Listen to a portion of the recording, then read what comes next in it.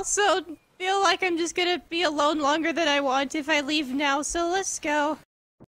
T-Series! Yeah. It's your big day! Incredible job! I know we had our differences, but today, I just want to tell you